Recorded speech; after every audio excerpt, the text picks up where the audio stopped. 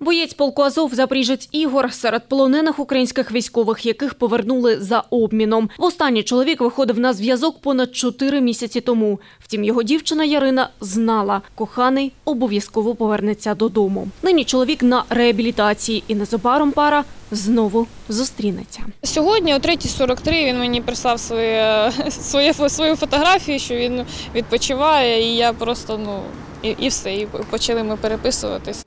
Вона не бачила коханого понад рік. Боєць полку Азов Ігор та запоріжанка Ярина познайомилися, коли були студентами і навчалися в одному вишу понад 11 років тому. Тоді між парою зав'язалися стосунки. Доля неодноразово розводила їх і зводила знову, зізнається дівчина. Востаннє кохані бачилися торік у серпні. Побачитися знову мали за кілька тижнів до повномасштабної війни.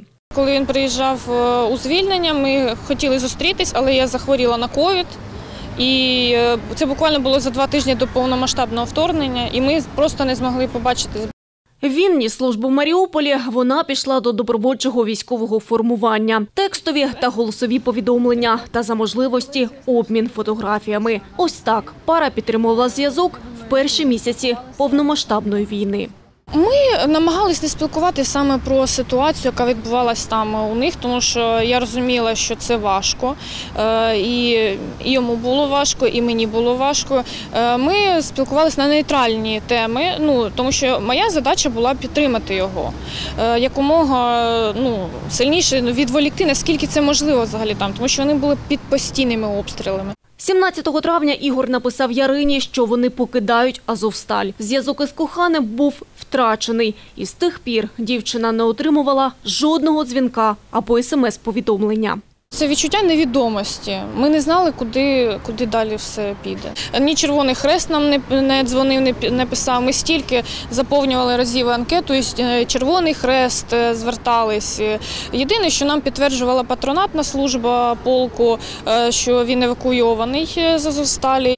Жодного дня Ярина не втрачала надію, що знову побачить коханого. Після теракту в Оленівці дівчина у рідному Запоріжжі почала влаштовувати акції на підтримку військовополонених з Азовсталі.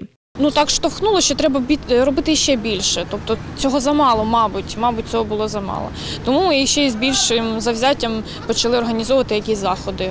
Після чотирьох місяців мовчання Ярина врешті дочекалася омріяного повідомлення. Частина полонених з Азовсталі повернулася додому. Дізналась вчора. Я якраз вчора повернулася з сектору на ротацію додому. Приїхала зранку, і мені десь о 20.11 подзвонила його мама, е, сказала: Ти чула? Я говорю, що чула? Вона каже: «Е, Ігор повернувся. Я говорю, та що? Я, я, ну, я, я не можу вам передати це. Я просто замовкла. Одразу от у мене такий шок. Нагадаємо, Україна повернула з російського полону 215 українських військових, з них 108 бійців Азову. Серед них і коханий Ярини, запоріжець Ігор. Нині чоловік проходить реабілітацію і незабаром повернеться додому.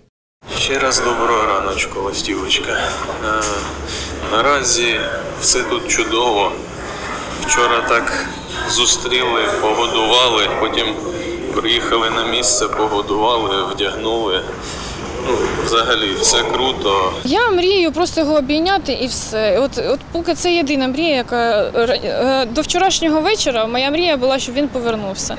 Юлія Сенак, Андрій Варіонов, Суспільне новини, Запоріжжя.